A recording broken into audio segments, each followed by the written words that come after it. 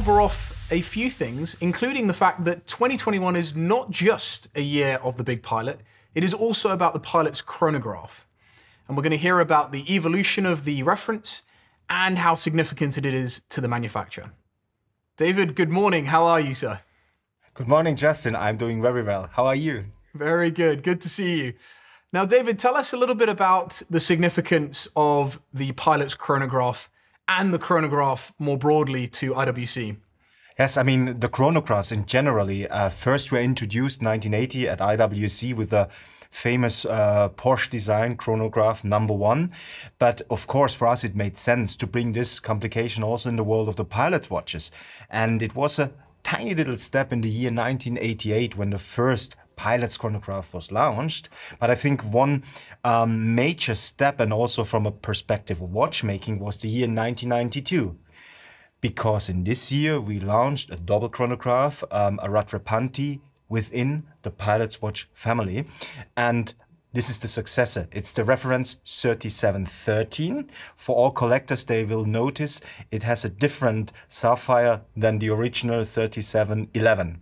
What is so special? I mentioned the double chronograph, and um, this is interesting to see because this was a pure IWC um, development based on a classical chronograph movement. And so we had a huge success with this watch. And it was the introduction of the stainless steel bracelets at IWC. And I think if you look at our chronos, you always think on stainless steel bracelets, robust and very good to wear. And as well as that beautiful vintage reference, you've also got two from this year. And, and it would be fair to say that maybe it's the year of integration, be it the straps or the year of the color, so the dial changes.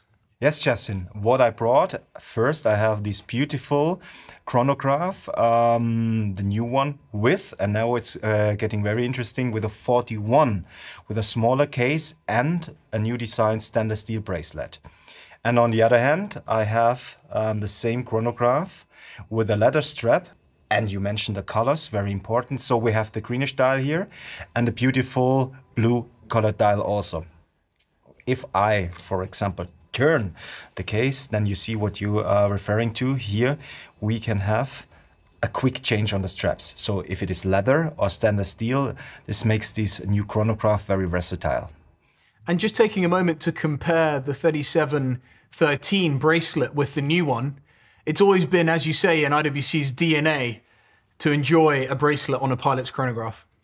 Yes, um, they look very similar. Of course, um, if you look at the details, there are some slightly differences, but I would say it's typical IWC. We look back on the history, what has uh, been before, and then we do something new. So the innovation comes by looking back and. So yeah, I think it's a, it's it's it's it's a good thing um, to keep this up with the combination of new and old, so to speak. How does this new size feel on the wrist, and are these limited editions?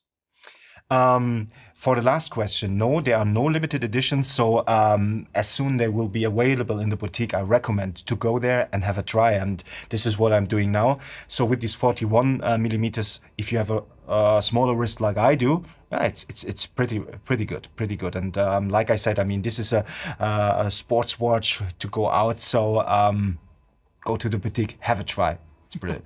David, as always, thank you very very much. It's been an absolute pleasure and I really look forward to seeing you in person, hopefully very, very soon. Very good, thank you.